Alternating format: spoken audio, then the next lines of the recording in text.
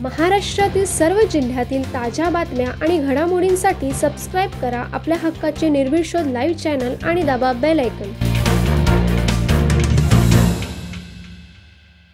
Karanja port terminus बंदरात कोळसा भरण्यासाठी येणाऱ्या ट्रक व डंपर गाड्यांना अडवून चालकांकडून जबरदस्तीने शंभर ते पाचशे रुपयाची कोंढरी ग्रामस्थ मंडळ या नावाची पावती देऊन सात ते आठ लोकांच्या संमतीने अनधिकृत वसुली चालू आहे. तिथे काय थांबवला? हा. इंडियन वाले युनियन वाले हा. ते काय केलं तिथे पुढे? त्याचे पाचशे रुपये घेतले. पाचशे रुपये दिले. बाबा. ही पावती दिली? हा. पावतीवर काय पैसेच नाही दिले त्याच्यावर पैसे पण लिवलेले नाही काय नाही. हो काय.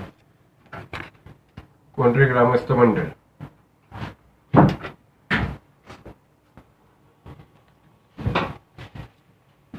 पुढं मग? पुढं गाडी तिथनं सोडली काय? हा. पैसे दिले पुढे आलं मग पुढे पैसे दिल्याशिवाय सोडलेले नाही ते. हो काय? पार्किंगचे शंभर तेवढे घ्या म्हणल्यावर घेतलेले नाहीत ते पण. हा. नुसतं चारशे डिवोचं म्हणले पार्किंगचे शंभर म्हणून पाचशे घेतले पाचशे रुपये तिकडेच अं, दिलेस तू. हा हा. आणि इथं डिओ फाडला. डिवोला शंभर घेतले हे वेगळे. इथं आल्यावर. हा.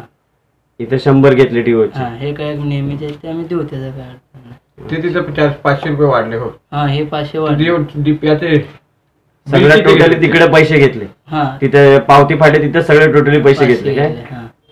याबाबतची तक्रार उरण पोलीस स्टेशनमध्ये केल्यानंतर या गुंड प्रवृत्तीच्या वसुली करणाऱ्यांकडून दिनेश म्हात्रे यांच्यावर जीव घेणे हल्ला करून वरून पोलीस स्टेशनमध्ये तक्रार दाखल करण्यात आली. हल्ला करणारे गुंड प्रवृत्तीचे असून व अर्धांड असून या अगोदरही त्यांच्यावर उरण पोलीस ठाण्यात अनेक गुन्हे दाखल आहेत. हे लोक गुंड प्रवृत्तीचे असल्याने तेथील नागरिक तक्रार करण्यासाठी घाबरत आहेत. यामुळे करंजा गावातील नागरिकांनी अशा गुंड प्रवृत्तीच्या लोकांना तडीपार करण्याची मागणी केलेली आहे. तसेच करंजा गावात पोलीस चौकी होती परंतु कालांतराने ही चौकी आस्थागायत बंद पडलेली आहे. बंद असलेली पोलीस चौकी सपाट करून त्याचा उपयोग सध्या टँकर उभे करण्यासाठी होत आहे. समुद्रमार्गे होणाऱ्या दहशतवादी हल्ले अनधिकृत होणारे बायोडिझेलची विक्री तसेच ट्रक आणि टँकर गाड्यांकडून होणारी अनधिकृत वसुली पोलीस चौकीमुळे थांबेल.